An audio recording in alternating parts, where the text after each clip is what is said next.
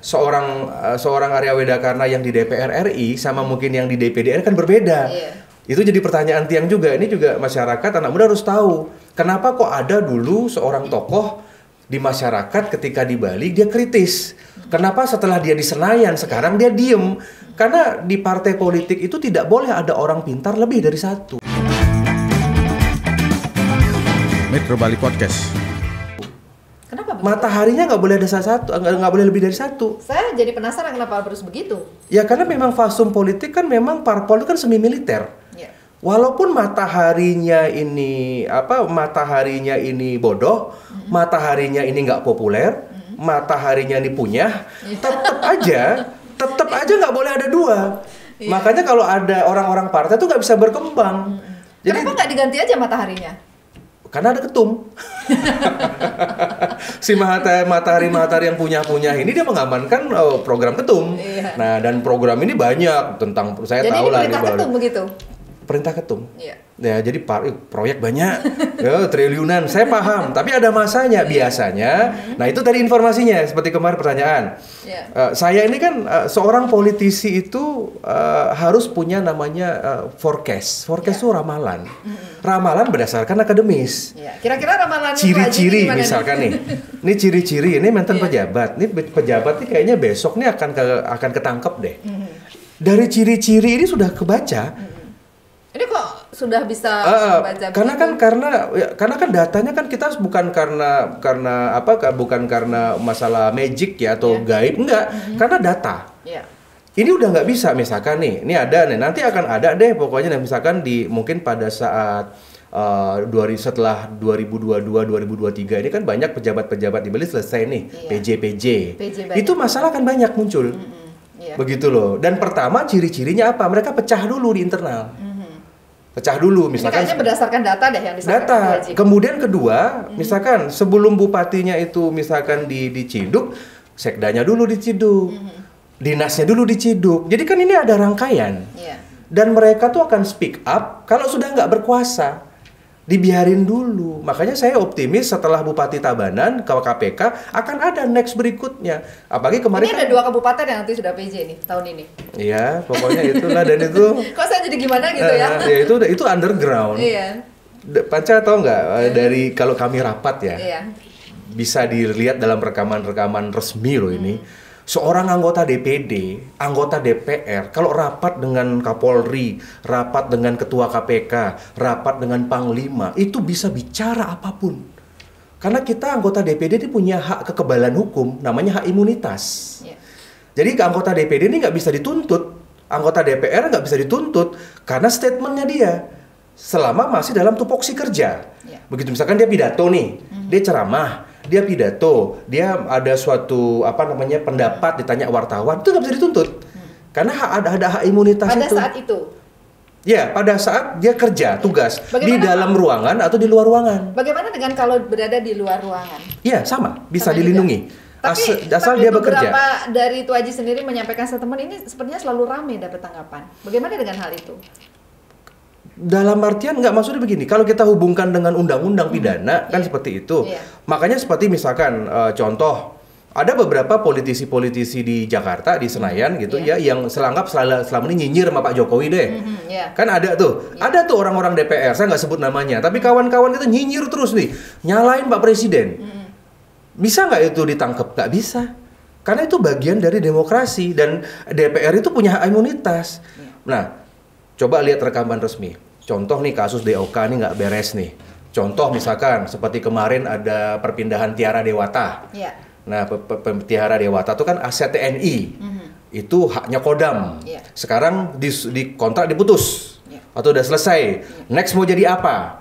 Misalkan kalau ex Tiara Dewata ini kalau seandainya mau jadi mau jadi mall lagi itu perlu dipertanyakan kan? Atau Padahal itu taman kota Taman gitu. kota oke lah, gelanggang. Dulu kan gelanggang. Dulu kan kolam renang di sana sama lapangan tenis. Waktu saya kecil kan saya ingat di sana. Berarti tahun 80-an itu ya? Ah, 80-an ada olahraga ke Tiara Dewata kan olahraga di sana. Ada gelanggang remaja di sana. Iya. Nah, ini kan yang namanya Panglima, Kapolda, Kapolres, Kepala Kejaksaan, Ketua Pengadilan, ini kan tugas di Bali kan sebentar-sebentar.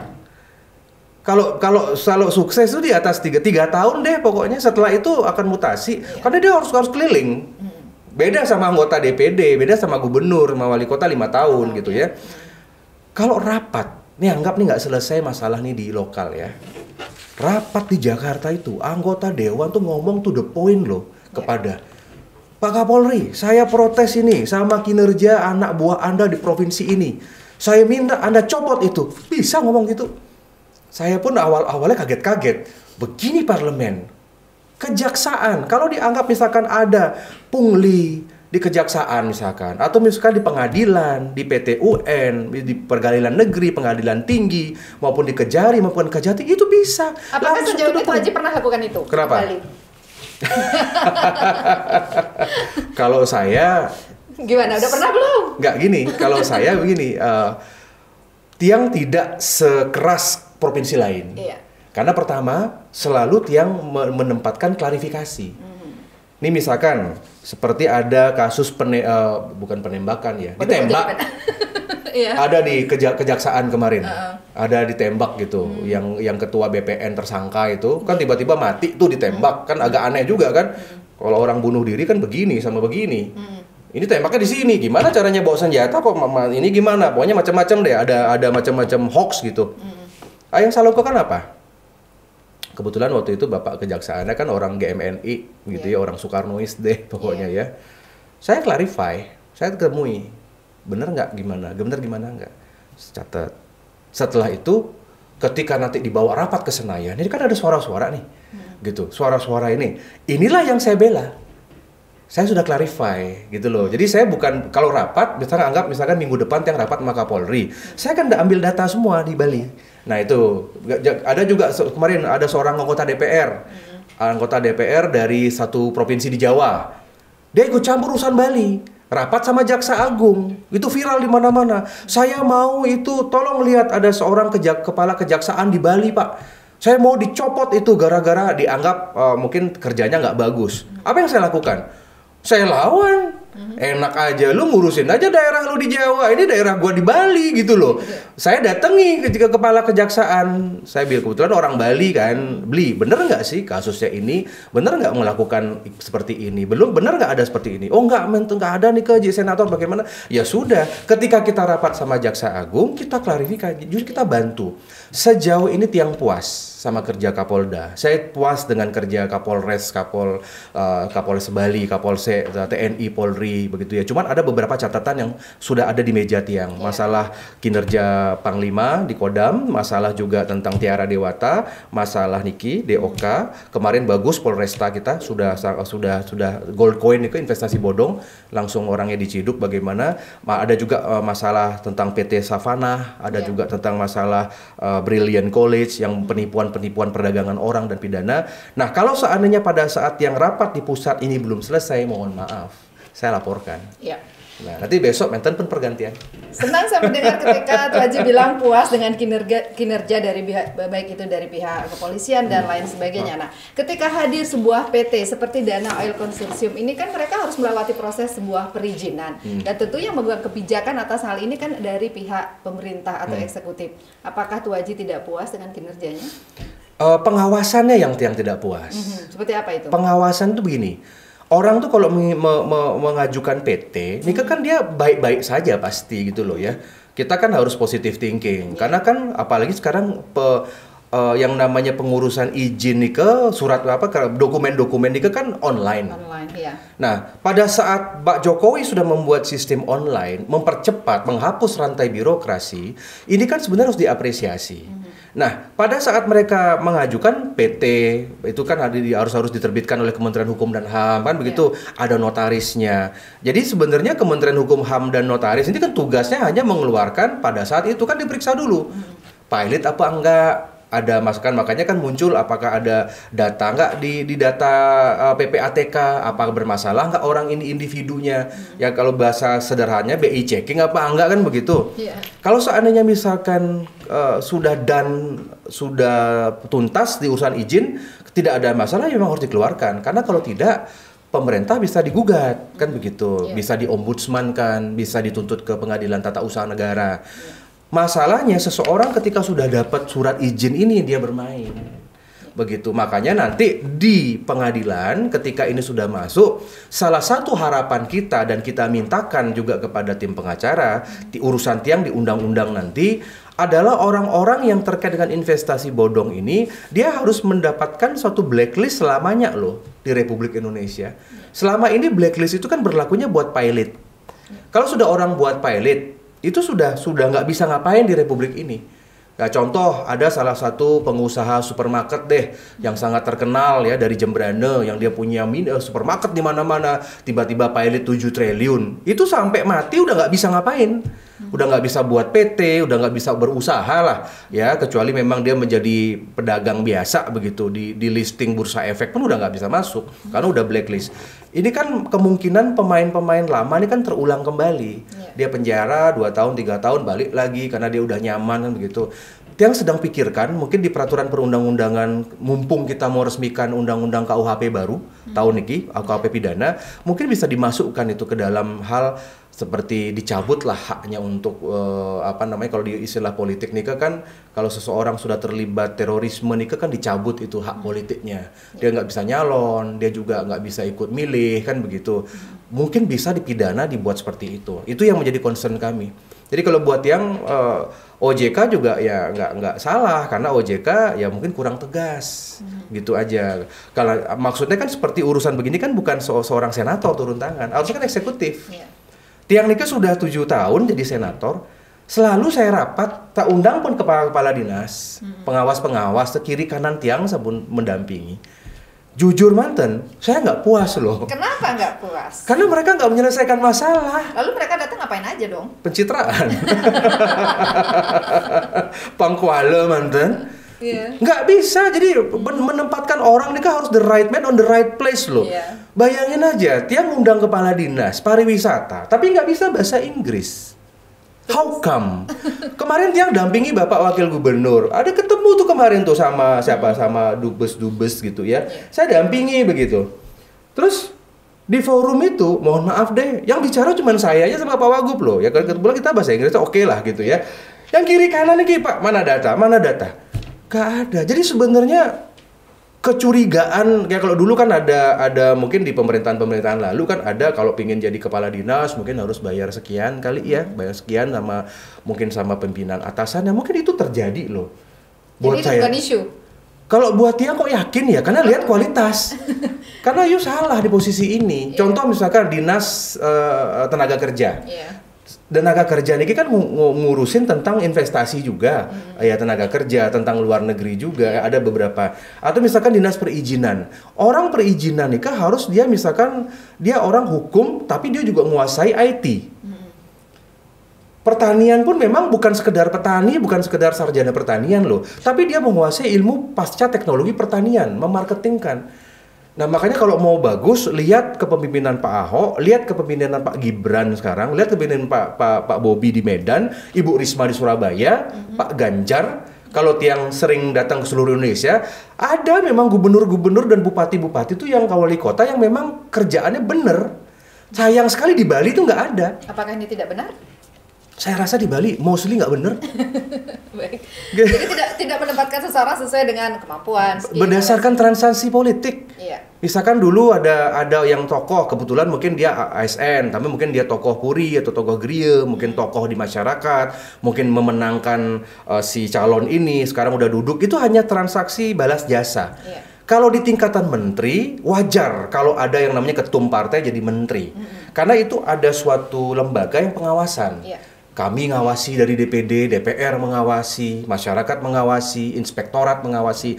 Tapi kalau di daerah, itu contoh lah misalkan seperti Gianyar deh. Dia udah kirimkan surat itu ke Menteri Perdagangan. Iya. Misalkan Gianyar, bagaimana salah kaprah membuat Pasar. pasar-pasar yang megah.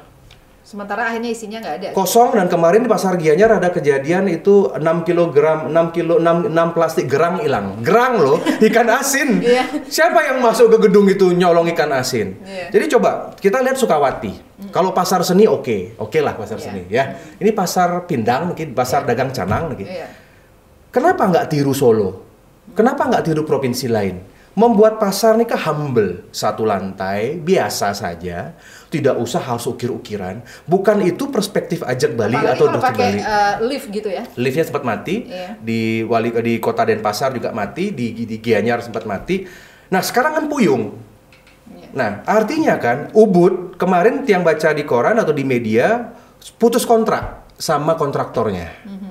Bagaimana sekarang orang Ubud teriak-teriak nih semua padahal Ubud punya wakil gubernur loh Kapan selesai nih? Iya, Seka- curhatnya kan ke AWK karena di Ubud pendukung tiang akeh. Curhatnya ke tiang. Saya tanya, saya tanya balik. Ya ida sampun pendewi wagub. Lapor sama wagub dong. Kan tinggal angkat telepon satu jalur. Kan begitu. Nanti kalau AWK turun nanti Jadi beda jalur. beda jalur kan begitu.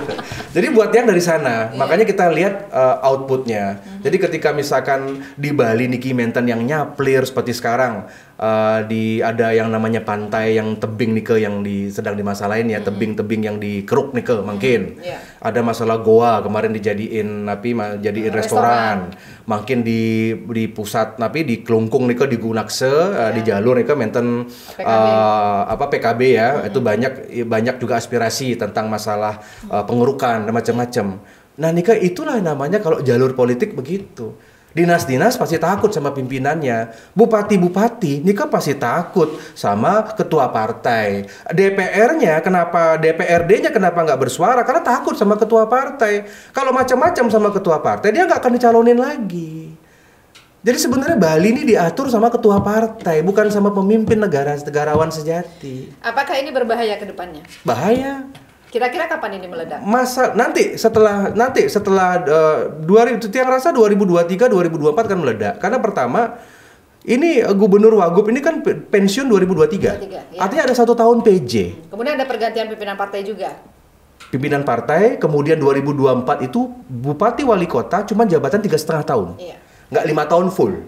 Akan ada pileg serentak. Pileg serentak pilkada akan bagaimana? Makanya makin koalisi-koalisi apa pun itu, kok jadi ngomongin politik nih? ini menarik ini. ya, jadi koalisi-koalisi partai ini itu akan bohong gitu. Contoh misalkan ada ketua partai bukan bukan bukan partai satu jalur. Dia dia sudah menyampaikan bahwa saya akan pilih si gubernur ini seperti itu. Ayo kita pilih gubernur ini 2024. Ya mungkin di baliknya mungkin ada satu hal transaksional ya, misalkan dalam artian perhatian, mungkin ada atensi lah istilahnya. Tetapi mohon maaf, kalau sudah dalam tanggal 14 Februari 2024, itu nggak mungkin yang namanya pimpinan-pimpinan itu bisa bersifat netral. Kita nggak mungkin berharap sama pimpinan daerah yang ketua partai juga untuk bisa untuk bisa mengayomi semua partai. Satu jalur tuh akan pecah. Karena dia berkepentingan DPR-nya menang. Jadi itu bohong semua. Ini, ini ramalan sepertinya ya. Nggak dan, mereka nggak dapat apa. Buat yang Oke. mereka nggak dapat apa-apa. Dan kembali lagi ke ap- bagaimanapun juga bahwa peran dari partai politik, Hmm. kemudian sistem negara ini kan tidak bisa lepas pada akhirnya kembali kepada masyarakat. Karena sesungguhnya masyarakat kan sangat berharap, yakin dan percaya bahwa siapa pun yang memimpin, siapa pun yang mewakili, nantinya ketika mereka menghadapi masalah seperti saat ini, Hmm. mereka yang menjadi dikatakan investor ini kan berharap banget kepada pemerintah. Iya. Dari yang melapor sejauh ini, curhatan yang paling mendalam tuh apa? Itu aja. Uh, tiang kasihan ya sama yang dalam artian mereka kan uh, memang langsung ke pribadi ya dalam artian cerita-cerita misalkan ada sampai uh, ada sulinggih loh yang kena loh. Iya. ini sulinggih yang investasi. Kan tiang tiang ketanda tanya kenapa bisa sulinggih? Sulinggih bukannya nggak ngurusin ini ya nggak ngurusin tentang duniawi lagi gitu ya. Mungkin sisionya mungkin uh, uh, misalnya mungkin panjak-panjaknya mungkin mu- keluarganya ada sulinggih yang kena. Ada ada yang sampai meninggal yang orang tuanya sampai meninggal ya karena stres mikirin hutang. Ada yang sampai kehilangan tegak rumah tegak merajanya hilang. Iya. yang dulu dia punya lahan di kampung sekarang dia ngontrak. Ada nih ke. Ada yang sampai nggak bisa nyekolahin anaknya bagaimana? Jadi kalau menurut yang ini efek ke masyarakat dan ini harus menjadi pertimbangan oleh aparat baik nanti hakim maupun polisi jaksaan impactnya besar sekali. Ini bukan cuma urusan di atas kertas rugi berapa ratus juta. Ini sudah menggerogoti kebaliannya orang Bali. Ini sudah masalah eh, kalau mohon maaf kalau saya sebagai umat Hindu sa- sudah kehinduan kita udah diganggu loh. Karena ketika kita kehilangan aset tanah nih Ibu Pertiwi loh yang hilang. Iya. Ini otomatis yang bisa mengambil adalah predator-predator dari luar Bali. Ini yang akan uh, apa mengakuisisi. Sebab seperti pandemi, villa-villa kita, hotel-hotel kita, tanah-tanah kita, dua tahun ini kan sudah ber- beralih semuanya. Kalau nggak beralih ke bank, alih ke investor. Dan investor ini pasti orang luar. Dan pasti orang luar yang punya uang. Ya karena orang luar, mohon maaf, baik orang tamiu-tamiu yang di Bali maupun orang luar tamiu luar Bali, mereka kan tidak punya kewajiban, kewajiban untuk misalkan Jaga salah Bali, satu jaga menjaga Bali, ya. Bali untuk untuk ngaci-ngaci. Nah, jadi sebenarnya itulah yang kita hadapi. Mereka nggak salah. Masa punya orang punya uang salah di republik ini? Tapi kita yang salah karena greedy tadi. Kemudian eh, yang menurut yang ke depan bahwa ini akan jadi harus jadi pertimbangan dari aparat hukum ya mungkin tidak semuanya ribuan orang yang harus kita dengar tapi mungkin ada story-story kemarin saya sudah sampaikan tim pengacara Iya, oke. coba di- jadi carikan story-story yang menyentuh yang di mana korbannya memang benar-benar damage-nya itu sampai rusak serusak-rusaknya di keluarga itu Oke. itu yang harus Iya. kita concern Dan eh, tadi kan Atu Aji bilang bahwa sampai tanggal 30 Agustus 2022 nanti 31, akan ya. eh, 31 maaf eh, tadi eh, akan ada posko pengaduan. Hmm. Ini tempatnya di mana Atu Aji? Ya, posko pengaduan ini di kantor DPD RI di Jalan Cok Agung Tresner non ya. Jadi di dekat kantor gubernur, dekat di, di, di Mandala. Artinya boleh masyarakat dari Senin sampai Sabtu eh, dari jam 10 sampai jam 5 sore bawa aja data KTP, eh, mungkin ada bukti-bukti fotokopi transfernya kan gitu nge. Iya. Apa pun lah pokoknya urusan kwitansi kontraknya terhadap dengan niki dengan masalah PT DOK. Kenapa kita buka posko? Karena tidak semua tidak semua dari korban niki berkenan didampingi pengacara. Hmm, Kenapa begitu? Eh, ya mungkin karena biaya, ya mungkin karena urusan, tapi mereka mungkin ya namanya kalau orang beracara kan harus Takut nyam juga ya, takut psikologis. eh, psikologis. Tapi Tiang udah sampaikan kalau nanti diperiksa ya sebaiknya kalau diperiksa oleh penyidik sebaiknya sih harus didampingi pengacara. Nah sudah ada ada beberapa pengacara yang memang sudah mendampingi. Nah nanti yang penting gini dulu kita Tiang kolek dulu datanya. Kemarin cukup ramai datang ya. Mereka bawa dokumen. Nah nanti dokumen nih ke setelah tanggal 31 nanti tim hukum Tiang nih ke mengasesmen dokumen ini. Dokumen inilah yang akan kami bawa ke Mabes. Gitu loh ya. Jadi langsung dengan kekuatan Senayan. Pokoknya kita bawa dengan rekomendasi, tolong itu kirimkan yang namanya atensi ke Bali, ya pasti Mabes. Selama ini saya eh, sangat senang karena Pak Kapolri, Pak Mabes selalu respon. Setiap surat yang direspon semuanya. Iya. Ya, jadi makanya seperti kemarin masalah PT Savana ya yang penipuan penipuan TKI PMI dia beroperasi di beberapa provinsi sampai kepada pimpinan BP2MI di Jakarta mengatakan kami ini ber- berkali-kali melaporkan bagaimana kami nggak pernah tembus baru baru senator Bali yang bisa tembus sampai bisa diperiksa jadi Ini sinergi sebuah, sebuah perjuangan dan sebuah karya yang sangat luar biasa Iya, dari membela. eh, Tuh Aji yang populer dipanggil AWK ini. Ya, eh, kemudian satu lagi eh, Tuh Aji, jika tadi dibuka posko pengaduan, bagaimana kemudian mereka yang menjadi korban yang bisa dikatakan kehidupan mereka benar-benar total jatuh gitu. Apakah Hmm. ada pendampingan juga, mungkin ada support eh, dana Hmm. untuk eh, mereka anaknya nggak sekolah gitu misalnya itu ada nggak seperti itu? di sanalah peran pemerintah sebenarnya. Iya, mm-mm. Jadi begini, DPD senator ini kan tukang lobby. Ya. Modal kita ini jenane, modal kita ini lidah. Kalau dulu leluhur tiang berjuang dengan tajamnya keris, kita leluhur orang Bali dengan tajamnya senjata, ya leluhur Majapahit, leluhur di Bali, Puputan, kita berjuang dengan ujung eh, bambu runcing. Sekarang kita berjuang dengan ujung lidah loh. Ya. salah satu amunisi kita contoh podcast podcast begini. Ini kan kalau tiang lihat eh, podcast Metro ini kan selalu dimonitor oleh Intel. Selalu mau dimonitor oleh orang-orang hebat ya orang-orang besar. Jadi nggak apa-apa jalankan. Maka tiang merasa bukan panggung ini bukan panggung. Ini untuk menyuarakan kebenaran gitu loh. Kita berkarma di sini. Bayangin ada sekian ribu orang saja tercerahkan. Ini jenane loh. Ini hebatnya, ini hebatnya sekarang sosial media. Ini kan bukti bagaimana Saraswati ya ilmu pengetahuan. Jadi begini, Tiang merasa selama Tiang mendampingi Niki semua, semenjak periode pertama Tiang di DPD sampai sekarang, saya belum merasakan kehadiran pemerintah daerah. Ini Tiang udah bantu, tapi bantu bantuannya AWK ini kan terbatas. Iya. Karena seorang anggota DPD dia seperti pertanyaan bisa nggak dibayarin sekolahnya si anak bagaimana? DPD itu secara undang-undang tidak punya anggaran. Ya. Kita ini kan tidak punya hak budget. Kita nggak ada. Kalau misalkan seorang gubernur, bupati, wali kota, presiden, menteri, ada orang curhat, sekarang dikasih beasiswa, dibayari, diperbaiki rumahnya, jadi bisa. Iya. Karena ada hak anggaran. Nah, ini Tiang udah bantu loh sebenarnya. Iya. Membantu ya minimal orang yang mau demo nggak jadi karena ketemu AWK. Kan Tiang tampung. Ya. Ayo datang ke kantor saya. Gitu loh ya, Sampunang demo. Jangan nanti seperti kemarin di PT apa Solid Gold itu kan ada demo berkali-kali. Datang seseorang nih ke ketika sudah curhat dilayani sama anggota dewan sama wakilnya, nih ke setengah dari kemarahan udah reda. Iya. Makanya orang setiap masuk ke kantor tiang pulangnya pasti happy. Boleh periksa deh kantor AWK itu tiang duang daset yang mudoi staff. Begitu ya. Pokoknya sudah le- lebih dari gubernur deh pokoknya ya. Layani semua, dampingi, layani, bawa ke sana, bawa dokumen bagaimana mereka curhat. Jadi ketika mereka datang ke kantor DPD, ketika mereka sampun nulis cerita unek-uneknya, sampun legera kan. Yang sebenarnya kan nyelamatin nyawa sebenarnya nih. Ada kemarin yang mau bunuh diri, ada. Ada yang mau bunuh diri, ada bawa bayi masih dua bulan, mau bunuh diri masalah. Datang ke kantor, saya suruh panggil. Ada, ada, panggil ke kantor, ketemu saya langsung. Ada yang masalah kena cetik balian, ilmu hitam. ya, maunya tak suruh pesulap merah aja kan gitu ya. Udah datang ke kantor saya sini, curhat di depan saya curhat. Kan dia jadi sebenarnya ini konsultasi, konsultasi rumah tangga. Ada yang ada yang mau cerai gara-gara investasi. Iya, iya. Karena si karena suaminya atau istrinya dia nggak lapor jual eh, gade sertifikat. Pokoknya sekarang sudah bangkrut saya ya solusinya cerai kan begitu. Saya panggil. Case-case gitu yang panggil bener ya.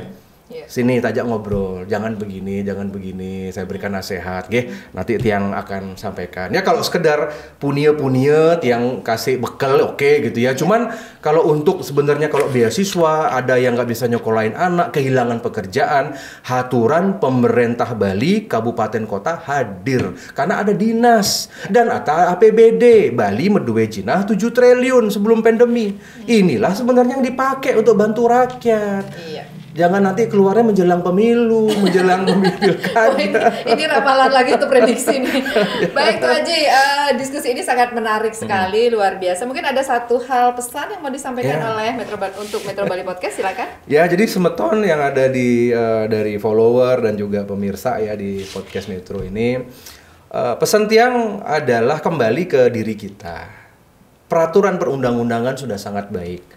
Undang-undang, instrumen, semua yang ada di negara ini bahkan kalau menurut tiang dari penilaian internasional, peraturan dan perundang-undangan di Indonesia ini sudah cukup baik kalau kita bandingkan dengan India, kita bandingkan dengan Pakistan, kita bandingkan dengan ASEAN lah negara-negara Laos, Vietnam gitu ya. Masalah hukum, transparan, kinerja e-government, oke bener semua Indonesia nih. Karena tiang sampun saksi mata, tiang sampun keliling dunia, nyingak dan tiang bersyukur jadi orang Indonesia. Ya apalagi di bawah keben Pak Jokowi sudah bagus, tapi ada oknum di sini oknum ini kalau selama itu oknum itu urusannya sama negara, dia aparat, dia ASN, dia BUMN, itu urusan AWK. Ya, karena tiang punya kewenangan dan semeton yang memberikan kewenangan kepada tiang, terutama konstituen AWK yang memilih saya, saya akan gunakan kekuatan politik itu untuk mengawal. Contoh PT Doeka kita berikan target sebelum akhir tahun harus sudah beres deh. Ya. Orangnya harus ketangkep lah, harus tersangka lah bagaimana. Sama seperti masalah sekarang di pusat yang sedang heboh. Nah, itu peran tiang, ya. Tiang akan ngawal. Bagi PT Doeka yang tidak punya pengacara, mungkin karena alasan biaya, alasan mungkin kenyamanan dan lain sebagainya, tiang akan akomodir. Tiang banyak ada tim hukum, silahkan makin berproses dumun, datang mantan ke kantor DPD, di sana sampaikan mangde eh, mangde bakte bukti. Nggih jangan cuma tutur tinular. Mangde mangte KTP mangde bukti transfer atau kwitansi atau surat perjanjian kita akan layani. Dan semua nanti akan dapat jawaban. Iya. ya semua akan dapat surat tiang rekomendasi. Nah Nike nanti akan kami laporkan pada saat kami rapat dengan pusat dengan Kapolri maupun juga dengan OJK dan lain sebagainya. Setelah Nike sabar menunggu yang penting makin semeton para korban tiang pesan yang penting sehat dumun Ya. jinah bisa dicari, uang bisa dicari, tapi nyawa, kesehatan itu yang tidak bisa dicari. Kalau makin bapak ibu sa- sakit, siap siapa yang jaga anak, siapa yang jaga keluarga. Ya mungkin niki pemargi ya dalam artian kita kan percaya hukum karma. Sisanya kan berdoa saja. Punapi berdoa mangde kita kita niki bisa menyelesaikan dengan baik. Nah yang penting sehat dumun, kemudian niki jadikan pelajaran. Yang penting ingat pesan tiang, tiang bantu OJK 2L niki, legal dan logic. Mulai sekarang kalau maintain investasi pesan tiang investasilah di deposito, genah jenah di bank. Yang nomor dua investasi emas. Cukup sudah di pegadaian nih ke ada. Beli emas atau beli nih ke di jalan apa itu toko emas. Hasanuddin beli emas di sana itu investasi apalagi harganya gitu. Medue jinah emas beli sama deposito. Nggak usah percaya macam-macam. Kalau lihat TikTok sama Instagram Facebook lihat yang hibur-hiburan aja. Jangan yang begini-begini. Ya nanti nanti nanti tiang akan edukasi ya. Oke. sebentar lagi tiang akan resmikan yang namanya Bali Economic Digital Hub ya tentang pasar modal tentang reksadana dengan BUMN semua jadi tiang akan akan kawal akan tiang uh, enlightenment yang berikan pencerahan pada masyarakat Bali ya ini maintain napi lapor ke tiang bisa di Facebook Instagram atau datang ke kantor DPD Iya. ya buka dari Senin sampai Sabtu dari jam 10 sampai jam 5 ada staf AWK di sana nge. Iya. sampaikan napi manteng ya tetap lah. semangat semangat semangat ya ya Iya baik terima kasih itu Haji.